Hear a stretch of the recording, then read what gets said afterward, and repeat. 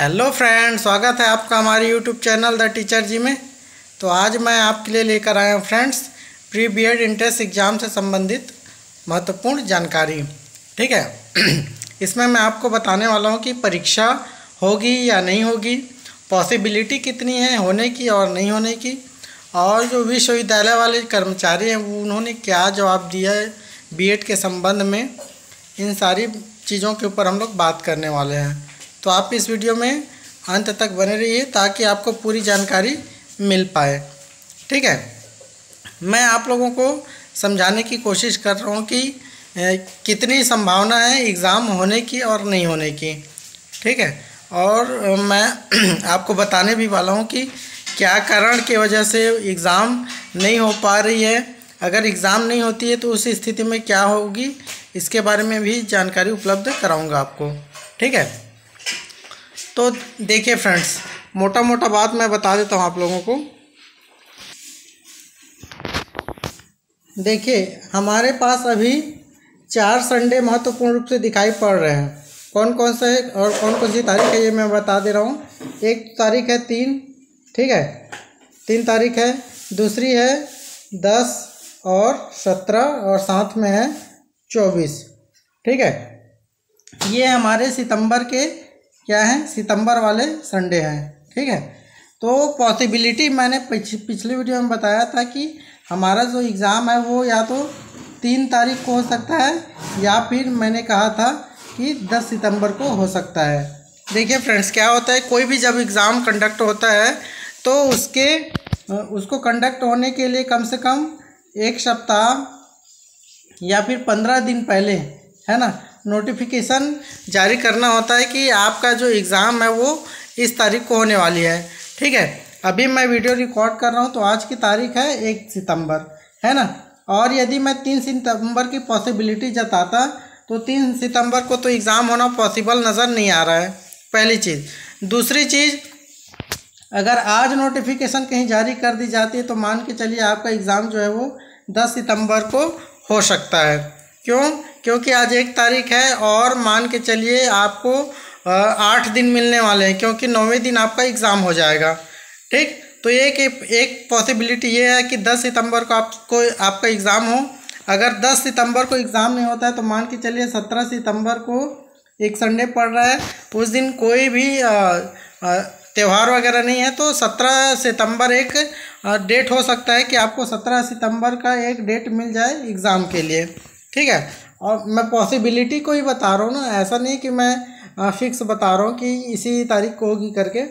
और यदि सत्रह को भी नहीं हो पाते तो मान के चलिए चौबीस सितंबर को हम लोग एक मोटा मोटा मान के चल रहे हैं कि सितंबर में अगर एग्ज़ाम कंडक्ट कराना होगा विश्वविद्यालय को तो सितंबर के अंतिम सप्ताह तक एग्ज़ाम कराने के लिए उनके पास पर्याप्त समय है।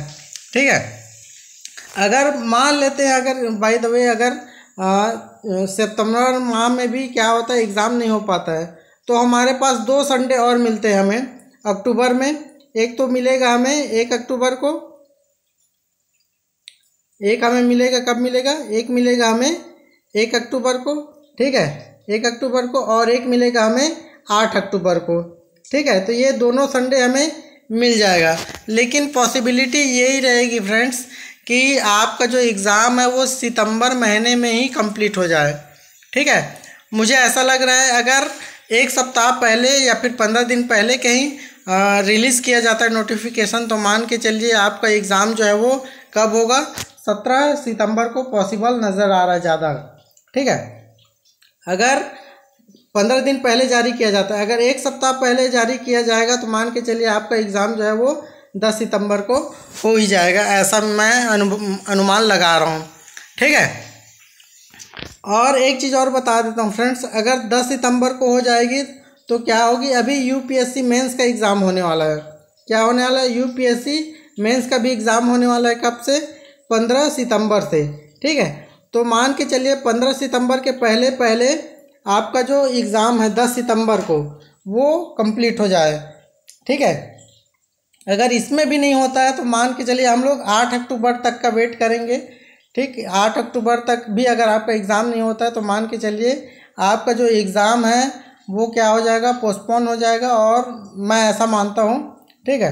क्यों? क्योंकि अभी तक ऐसा हुआ है कि आपका जो एग्ज़ाम है प्री बी वाला इंट्रेंस एग्ज़ाम वो जून में, जुलाई में और अधिकतम अगस्त में गया, अगस्त और जैसे अंतिम हम लोग समय देखें तो सितंबर लास्ट सितंबर के पहले पहले मतलब शुरुआत, सितंबर के शुरुआत में ही एग्ज़ाम हो चुका है। पिछला जितना भी एग्ज़ाम पिछला जितने बार भी एग्ज़ाम हुआ है वो, ठीक है? तो इस बार भी मैं ये मान के चल रहा हूँ कि सितंबर के फ़र्स्ट वीक में तो हो जाना चाहिए, ऐसा मैं मान रहा हूँ। क्यों? क्योंकि इस बीच में कोई भी त्यौहार नज़र नहीं आ रहे हैं। एक त्यौहार आ रहा है हमारे पास जो है सात सितंबर को कृष्ण जन्माष्टमी है। ठीक है? कौन सी तारीख को? सात सितंबर को हमारा क्या है? कृष्ण जन्माष्टमी है। ठीक है? तो इस त्यौहार से तो हमें कोई मतलब नहीं है है ना? हमें एग्ज़ाम से मतलब है तो देखिए, दस और सत्रह, ये डेट दोनों दो, डेट को आप लोग फाइनल मान के चलिए। ठीक है? अगर इस डेट में नहीं होता तो सितंबर का जो आखिरी सप्ताह बच रहा है। है ना, चौबीस तारीख। तो इस डेट में हम लोग अपना एग्ज़ाम को होने की उम्मीद रख सकते हैं। ठीक है?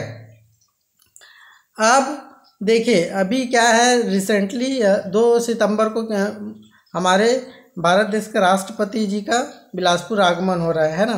तो अभी सारे जो कर्मचारी हैं, अधिकारी हैं, सब उसी तैयारी में लगे हुए हैं। पूरे विश्वविद्यालय भी उसी तैयारी में लगा हुआ है। तो तीन तारीख को एग्ज़ाम हो गया रहता। अगर राष्ट्रपति जी का दौरा नहीं हुआ रहता तो मान के चलिए तीन तारीख को आपका एग्ज़ाम हो ही गया रहता, ऐसा मैं मान के चल रहा था। लेकिन अभी क्या है, हमारे राष्ट्रपति जी दो तारीख को आ रही हैं, छत्तीसगढ़ प्रवास में, है ना? आ चुकी हैं तो दो तारीख को बिलासपुर आ रही हैं तो उसी कारण के चलते हो सकता है कि तीन तारीख का जो डेट है वो क्या विश्वविद्यालय द्वारा नहीं लिया गया होगा एग्ज़ाम के मामले में। अब मैं आपको पॉसिबिलिटी ये बता रहा हूँ फ्रेंड्स कि आपका जो एग्ज़ाम है, वो 10 से 17 सितंबर 10 या फिर 17 सितंबर को ज़्यादा होने के चांसेस हैं। ठीक है?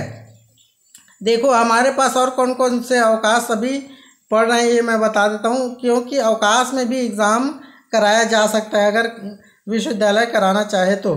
ठीक है? सात सितंबर को क्या है? कृष्ण जन्माष्टमी है। ठीक है?